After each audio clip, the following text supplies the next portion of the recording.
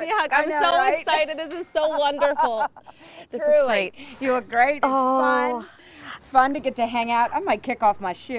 Oh, I like that idea too. Should we just take off our shoes and get comfortable? I might sit here like just cross-legged on the park bench. Well, so, you know, I'm so excited to hear about your transition because you and I have talked before about just how grueling waking up in the middle of the night was.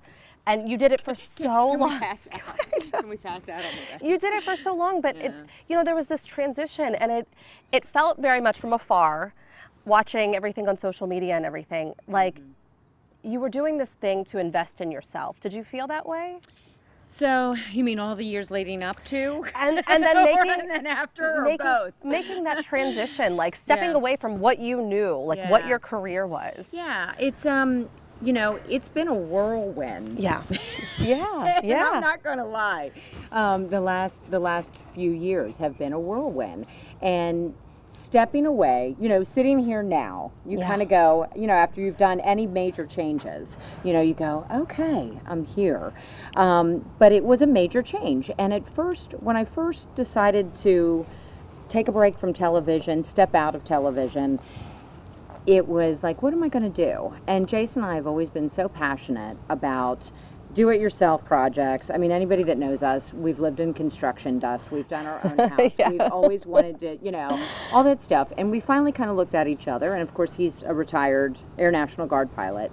So he was at the point too where we said, what do we want to do? Yeah. You know, what do we want to do? It was a weird question to be It's asking. Uh, and we just talked about birthdays and ages. You know, this Yeah. was he was turning 50 and this is my year to turn the big 50 Wow. so in august you know so it was like what are we what are we going to do we're turning 50 are we going to switch careers and just try something that we've always wanted to do and if we fail we fail but if we don't then let's get a 15 year plan together or so because 65 will be here quickly which Right. sounds wild. It is, yeah. you know, but it goes like that and and let's try it. So we just kind of launched it and truly like we have been driving through we've lived in the west end and elliott for going on 18 years and our hearts here we're not moving from here. Our children are here. This is the house we brought them home to from the hospital. Oh, but you know there's there's a lot of things in our neighborhood that we've wanted to change we want to see improve we want to see be better for everybody and encourage community. So that was just kind of the whole whew, you know motivation for going okay what do we want to do? Let's start to change the neighborhood. Let's invest in our neighborhood. Let's do it. And let's use our own money, which is how we started, um, to buy a property and then hopefully go to another one and another one and slowly redo these and put our name on it. And if our name is going to be on these houses, then it darn well better look good. And we better do it well. Is it weird, um, you know, getting dusty and dirty and getting your hands dirty and working with your hands in that capacity to, Yeah. to truly like be hands-on in fixing your community? Uh, no, because we have always, you know, Jason and and Jason, you know, you'll see him in the home and, and what we're doing right now. We've always redone things, and I think going through our own home and redoing it for Bennett after Bennett was born and had multiple disabilities, as many people know, and then having to adapt our own home for a wheelchair. We lived in serious construction for nine months. I mean, serious construction. Trying to navigate a son with a gravel driveway in a wheelchair. Jason's out there with a concrete mixer, slapping down concrete just to get him up to the top of the driveway. You know, we're out there, I mean, half the time. I love to be dirty, be out in my yard. So that kind of stuff was the easy part. Honestly, it's the small business starting up a business which is more stressful and the hardest part of of everything.